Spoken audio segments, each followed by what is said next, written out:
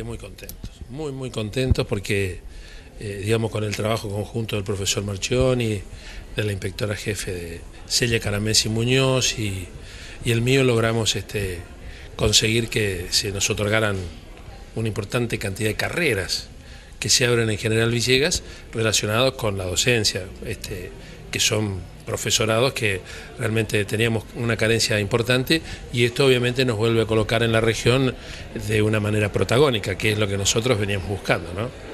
Muchas veces eh, hemos oído hablar en distintos momentos y, básicamente en época electoral la universidad, carreras terciarias, ¿esto de alguna manera suple eso? ¿Tiene que ver más con nuestra eh, realidad? digamos, em, eh, nosotros venimos trabajando desde hace mucho tiempo en la, dar una oferta importante en carreras terciarias, no universitarias y universitarias, a través de la modalidad a distancia. Hasta ahora no habíamos conseguido eh, insertarnos, digamos, con ofertas curriculares como son los profesorados, porque mm, no teníamos un buen diálogo con el Instituto de Formación Profesional 145, con este instituto. O sea, no, nunca pudimos articular políticas en conjunto y bueno, y eso fue realmente lamentable.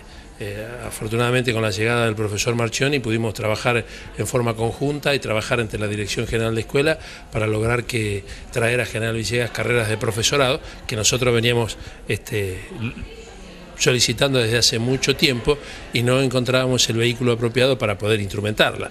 En el Colegio de Hermana no se podía, eh, digamos, porque no hay una política oficial, digamos, eh, diseñada para dar estas carreras desde lo privado, más cuando tiene que darse subsidio desde el gobierno, se hace desde institutos de formación como este, que pertenecen al Estado, y bueno, afortunadamente conseguimos, conseguimos un importante número de carreras, y esto nos coloca a la Municipalidad de General Villegas, al partido de General Villegas, eh, digamos, muy, muy bien por esto que decías vos, o sea que la gente tiene las carreras aquí, y bueno, la proximidad ayuda a que la gente estudie y tenga, digamos, una oferta digamos, de formativa distinta o más amplia de la que existía hasta el presente. ¿no?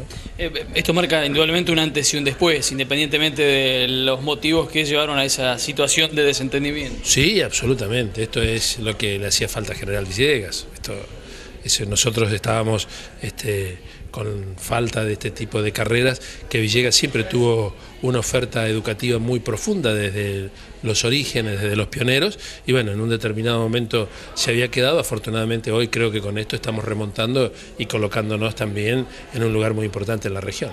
¿no? ¿Los lleva a pensar, les siente que le exige en nuevas carreras? Bueno, hoy hay un importante número de carreras que para empezar está bien, ahora habrá que ver cómo es la respuesta de la gente o la demanda de la gente para seguir pensando en otro tipo de carreras también. ¿no?